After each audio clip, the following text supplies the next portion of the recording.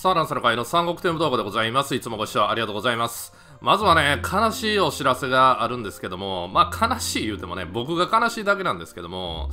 名前ありますよね。ロイエンタールという名前で、えーやらせていただいてるんですけど、もともとはランセの勧誘という名前でね、やっております。最初の挨拶でそう言うとりますからね。で、この度、名前をね、元に戻すことができなくなってしまいました。っていうのがですね、えー僕が使ってる缶っていう漢字が、言うたら NG ワードになっちゃってるんですよね。これ、まあ、例えばここで、えー、缶って打ちますよね。で、えーっと、どの漢字かなえー、出てこないな。割と、そんな下の方の漢字これ。あった、これ。この漢字ですよ。女編に干すという漢字なんですけど、これをね、送信しようとすると、こんな感じで文字化けしちゃうんですよね。なんで、この缶が使えないっていうことなんですよ。なんで、これから、まあ、ロイエンタールでずっと行くかどうかはわからんのんですけど、もう、その、この漢字を使った乱世の勧誘には戻れなくなってしまいました。残念ですけどね。いや、他なんかないかな、ええ漢字。まあ、あの、女3つっていう漢字ありますよね。あれで勧誘って読む場合もあるんで、あれでいこうかなっていう気もすんですけどね。まあ、そうやな。僕、そっちの漢字よりはどっちか言ったら、あの女編に干すの方の漢字の方が、うん好きって言うとおかしいですけどね、なんかこの女3つの漢字っていい印象がないんですよね。なんであんま使いた、これか。これやったらね、大丈夫なんですよ。はい、こんな感じでね、軍茶にも打てるんで、これでいってもええかなとは思うんですけどね。なんか戻れないとなったら戻したくなってしまいますけどね。いやー、ほんまにもうこんなことになると思いませんでしたね。それちょっとあれかな。乱世の勧誘っているんかなこれか、友達追加か。これで、えっ、と、乱世の、この間で探してみようか。あ、一人いるわ。一人いるんか。けど一人だけか。一人だけだったらかぶせてもいいかな。軍団も入ってないみたいなんで、多分この水曜日の段階で軍団入ってないっていうことは、ほぼがっつり活動はしてない方っていうことやと思うんでね、これ、これでいくか、かっこ侍でもつけとったら大丈夫は大丈夫やと思うんですけどね、まあちょっと悩みます。はい。な、なんのこっちゃというお話から入らせていただいたんですけど、次はお詫びです。あの、リクエストをいただいとったんですよ。王者に挑戦をやってくれと。で、王者に挑戦をやりながら、こう、取れなかった場合に、と取りな、どうやってこう、方針変更といいますか、こう修正を加えながら3枚につなげていくかっていうのが見てみたいということをリクエストをいただきまして、あ、ほんとはやってみようかなと思ってやってたんですよね。そしたらね、もう、まあ、取れない。取れないんですよ。王者に挑戦。3枚が取れない。で、一応、一応はこんな感じでね、最終的には取れたんですけど、めちゃめちゃ時間かかってしまってね。で、もう、その途中でね、もう喋ることもなくなって 黙ってるみたいな時間がほとんどだったんで、これは動画にならんわと思って、その、言うたら、録画をやめたんですよね。なんで、こう、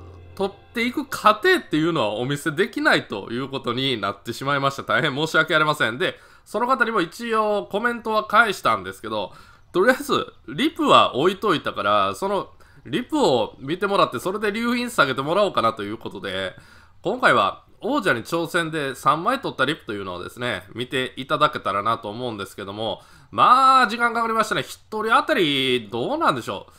う。10回ぐらいは行ってるんかな？いや、10回もは行ってないか。10回も行ってたら、1時間半ぐらいかかってるっていうことになりますもんね。そこまではかかってないんで、10回もは行ってないと思うんですけど、まあ、きつかったです。で、まあ、なるだけ僕が考えてたことっていうのをお伝えできたらと思うんですけど、成功してるリプなんでね、この一発でそこにはたどり着いてないっていう部分はあるんですけどね。まあちょっと見ていきたいと思います。はい、まずは優香さんへ対する攻めですね。この2つの UFO を壊して、で、中に虎突っ込まして、これ援軍をね、釣りたいっていうわけでこんな出し方をしてるんじゃないんですよ。性能士が鬱陶しいということで、まあ言うたら月影でね性能値を利用できないということなんでこうやって月影をここから出してその言うたら長生きさせるために流砲っていうのは壊してるんですねあっこの流砲があると車中に入らん上に歩いていく方向の施設は壊れてしまうっていうことなんですね。なんでこんな感じで、えー、月影を出すために流砲を使ってるっていう感じですね。でこのおかげでこんな感じで割と月影が頑張ってくれてるんですよね。でただこの回答にはすぐはたどり着けてないという感じですね。まあちょっと1回きりじゃないんでリップ見るんでねこうやってみ、えー、ゆっくり見ていきますけどね。でここで射撃塔と改造放射塔が残って破壊率が81%ということでこれだけ見るとかなりきつそうに見えるんですけども援軍を利用してないので時間はね割とあるんですよね。あとはこう時間をかけて取っていくだけという感じになっております。一応射撃砲士は壊れて確か今ちらっとノータカも発動してたと思うんですよね。なんで援軍を使わない利用しない場合っていうのはあノータカ発動してないんかこれ。あの別に時間はね気にしなくていいっていう部分はあるんですけどあ発動してるか。発動したのにあっこまで回復したんか。すごいな。どうやって回復したんやあっこまで。もうギリギリもいいとこですねこれ。何分かかったんだろう。もう一回見ていきましょうか。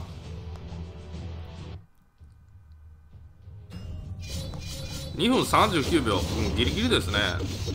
ここの流砲を壊してないとここから月星を出した時に全然仕事せえへんというのがこうやりながら分かったのでこのようにしてます。で部門は割とね長生きしそうですよね。で主君ここから出してで周囲もねこっちに流れちゃったんでもう慌てて手に出した感じなんですよね。これは想定外だった感じなんですよ。なんでこう本当はねこっちに流したかったんですよね。それは叶わなかったのでまあこんな感じで転移は早を突っ込ましたんですけどそれでも割となんとかなってますよねこんな感じでね。はいノートが発動して。でここでバースプリンが発動してさらに、えー、そのノータカの能力の自動回復ですか。それがあってあっこまで回復したんかな。あとプラスアルファで援軍で釣った性能値ですね。あれがこれ城を回復させてるんじゃじゃないあ違う改造放射塔か。改造放射塔が城を回復してるということでノータカ発動させた後にこんな耐,、えー、耐久値が回復しちゃってるっていうね。うーん厳しかったですね。いや本当に厳しかった。今回の王者に挑戦は過去で一番苦戦したんじゃないですかね。なんかねやっぱりもう性能値を防衛で入れてるのがスタンダードみたいになってるような感じがするんですよね。そんなあれかなこの月星戦庫で攻められることって多いんかな。それともその東順兵とか弓木兵の援軍にしとったらもう結局取られるからだったらもう、えーと、性能士の援軍にしといて月星戦庫からだけでも取りにくいしとったろうかなっていう感じなんですかね。なんせ性能士の援軍が入ってること多いですね。でその軍団戦とかの傾向を見てると自分が攻めるときはちゃんとした援軍に入れ替えてるんですよね。弓木兵とかね。東順兵に入れ替えてるんで。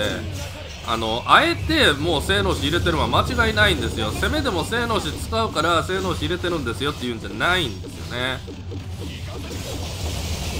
そうですね。このリップの見どころって言ったらやっぱりこの城がね左上に行っててでさらにこの周囲と武王でこの城に対してダブル攻撃をかけてるということでそのノータカが発動しやすかったという点ですかね。割と転移も早めに出してるんですけどそれでもこんな感じでしっかりターゲット引きつけてその間に、まあ、ノータカを発動させれてるという形になってますね。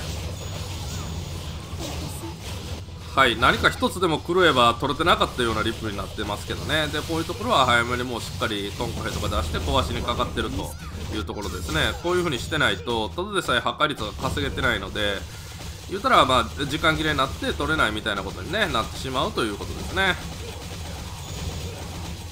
で、えー、っとね、今回の王者に挑戦、3人とも性能値が入ってました。ということで、えー、画量諸葛を使わない月影戦庫相手の援護を利用して、えー、戦うという月影戦庫の方は相当苦戦したんじゃないでしょうか。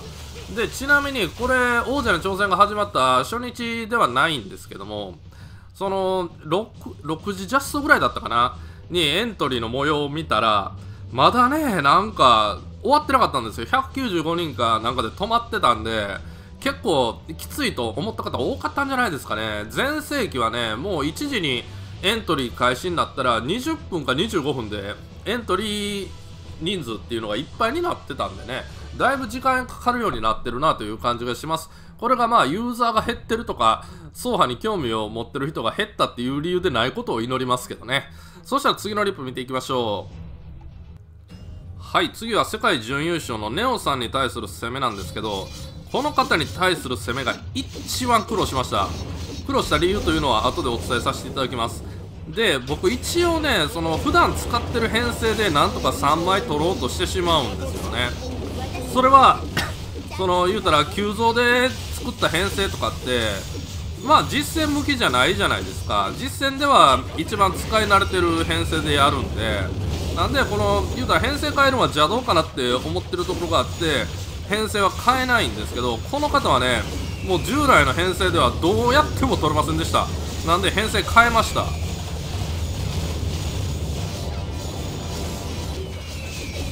全ての武将がしっかり生きてますよね。これぐらいうまいこと言ってくれないとなかなか取れないという感じですね。でここに5来2機あるじゃないですか。どうだ？壊れるか？壊れない。壊れないですね。火種で壊れるか？壊れああ1機壊れたか。これがまあ良かったんですね。これで3枚取れたっていうことだと思うんですけど実はこの城の上さっき壊れたのとここに壊れてる2つ。これ両方5来だったんですけどこれにね自爆がついてたんですよ。なんでこれを壊さないことにはそのゆっくり更地を取っていくっていうのがもう無理なんですよね。なんでその結局こうやって何回もやって5来を全部壊した上にその太平をたくさん使うということですね。これ普段の倍入れてます。ぐらいやらんと最後の最後で削りきれないっていうところなんですよね。なんでその従来の先行っていうことで言えばトラよりもその太平の方が破壊率を稼ぐにはいいよっていうことが今回模擬行きまくったことで模擬というか王者に挑戦しまくったことで分かりましたね。なんであのこういう性能士の援軍が入ってるところに攻めるときは大事ですね。この太平を入れるというね。もちろん太平が叩きやすい陣形ということ限定なんですけどそんであのー、結構ね普段攻めてる時って太平が叩けない陣形も多いんですけど相手防衛武将ですね。防衛武将が呂布とかの方から出したらスキル誘発することはないですしでさらに相手の陣法ですね。陣法って言うとらいかな？城って言うとらいいか。城自身がね入ってくる太平を攻撃してくれるんで案外スキル誘発されないんですよね。でこの防衛メンバーだったらそのスキル発動されて困るんは曹操と主君ということになりますよね。あれ ?98% で終わってるやん3枚取ったのに。でこの言うたら2人のいない方向から太平を出せばぐんぐん中に入ってっても衆上がね殺してくれるんですよね太平をね。っていうことがあってまあその太平使う機会っていうのは多いかなというふうに思ってます。でこれからも性能士の援軍が入ってる相手っていうのには当たってくると思うんでこの太平を多く使うで虎を減らすという月影先行をやっていかざるを得ないのかなという気がしております。でこんな感じで転移にね、えー、しっかり表以内のターゲットを取らして分を守ってるっていう感じですね。で攻撃速度が下がってるのでこれ転移がなかなか入ってこないですよね。ここでようやく武将早々に探知されたということで慌ててスキル打ったということなんですけどあっこがね、えーと、宝珠倉庫じゃなかったとしたらもうちょっと転移を早く突っ込ませる必要があったはずなんですよね。なんでそうなってきたらまた取れないっていうことになってたと思いますのでそういうのもちょっと陣形を作るヒントにしていただけたらなという気がしますけどね。まあ言うたらこんな状況で城にこんだけしかダメージ入ってなくてで破壊率に関してはまあまあ稼いでるけどもその言うたらノータカは発動させれてないっていうような状況ですね。こんな状況からでも、まあ、3枚につながってるっていうのは太平洋を多く出したからっていう以外ないかなと思いますね。で自爆がなんせややこしかった。五来諸葛煉獄だったかな。五来透石煉獄諸葛4つあったんですね。で割と透石も深かったので透石で死ぬ遁甲兵とかも多くてでこうなってきたら城にダメージを与える役っていうのがどんどん自爆で死んじゃうっていうことなんで太平にね狼を沸かさしてで削っていくしかなかったんですよね。これしか手が思いつきませんでした。まあもちろんねその呂布とか使って失礼呂蒙とか使って3枚取るというね、えー、前回の動画になるんかな。お宝映像という動画をね作らせていただきましたけどあんな撮り方をするっていうことだったらばこういう編成にする必要はなかったんじゃないかなという気もするんですけども一応ね一応その急増の武将たちでやるっていうのも違うのかなという気がしたのでもうただでさえ編成変えてるところであの自分のポリシーはねもう言うたらポリシーに背くような攻め方しちゃってるんでさらに武将まで変えたら何のこっちゃわからんなということでとりあえずこれで頑張ってはみたんですけどねこんだけ苦労するんだったらリュモで取りにかかった方がすんなり取れるんじゃないかっていうくらい苦労しました。上の5来もねリョモだったら一気に全部壊してくれるんでね。で結局のオタが発動させられるのやったらもうその両網でなんとか周りを削り切ってで後から太平でのオタが発動させてさらに城を落とすっていうやり方でも一緒なんちゃうんかなということでなんか両網に戻してもいいかなという気がしてきております。そしたら次のリップ見ていきましょう。はい最後トラ応援団さんへの攻めですね。世界優勝者の方ということになってますけども。地域優勝優香さんで伊田天所属と。でトラ応援団さん世界優勝伊田天所属ということで伊田天さんすごすぎでしょっていう話ですよね。いや本当にすごい軍団だなと思います。そんな軍団と対戦とか言うてまだちょっと早いわ早いわと思いますけどね。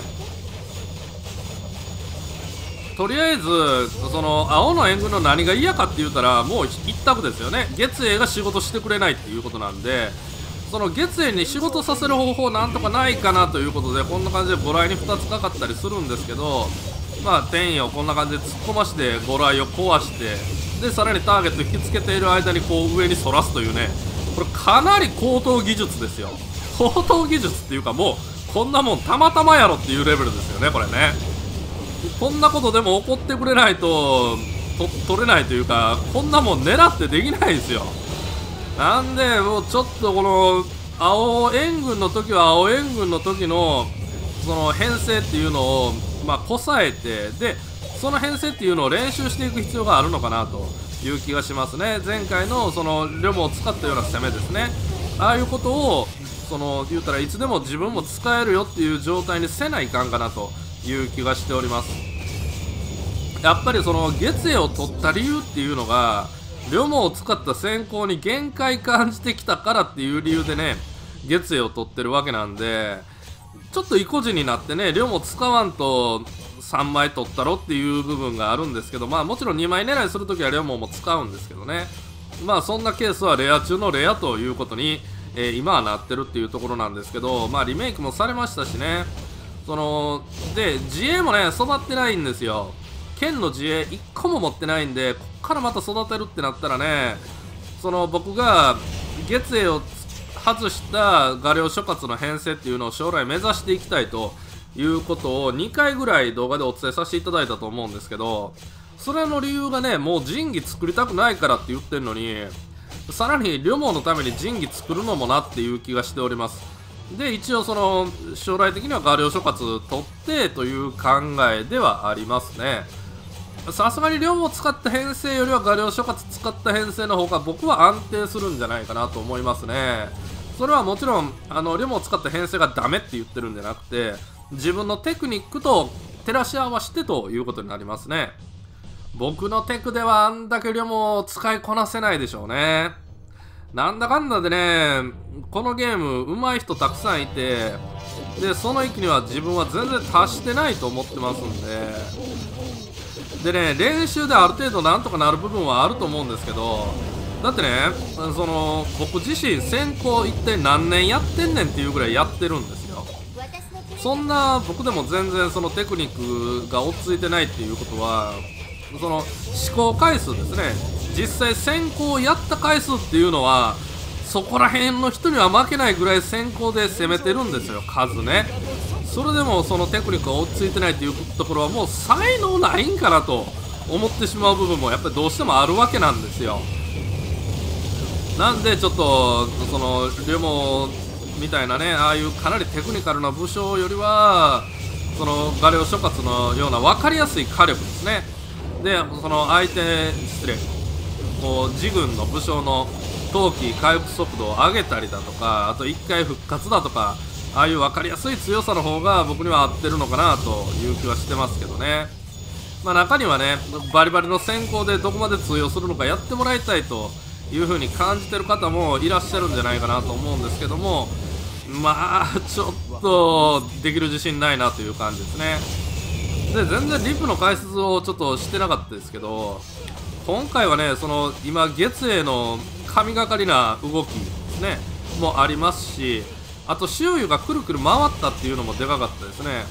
割とねこうしっかりと壁囲われてで外にね防衛施設以外の施設ですね。何施設って言ったらいいんだろう。建築系って言ったらいいんですかね。あれが円を描くように陣形を囲ってるので周囲がね中を叩き壊しつつ迂回するっていうパターンですね。ちょっと見ましょうか。こういうポイントが見つけやすかったっていうのはあります。こんな感じでね。ここで壁叩き出すんですけど奥が壊れたことによって壁叩くのやめてますよね。はいこんな感じでプルプル回っていくわけですよ。こういう風にならないようにっていう陣形っていうのも考えてね、えー、作った方がいいんじゃないかなという気はしておりますけど僕自身がね陣形作るんが本当に下手というかこのゲームで一番テクニックを要するんって陣形を作るということだと思ってるのででそれは僕にはできないことなんでね簡単に言うなよと言われてしまいそうですがまあその言うたら修正点の一つではあるんかなという気がしますね。ただそこまでね対策をしなかったとしてもそうそうで性能士の援軍で取れる陣形ではないかなと思うんですけどね。まあその画量諸葛で、えー、さら地取った人が苦労したのかどうかというのは知らないですけどうちの軍団の方のそのロビーへの書き込みとか見てたらやっぱり画量諸葛使ったとて苦労してる人多かったみたいですね。なんでその先行使いには若干厳しくなってきたのかなという気はするんですけどもまあこう広い天部の世界見渡してみたらね本当にテクニック一本でブイブイ言わしてる人っていうのもやっぱりいますのでまあセンスっていうのは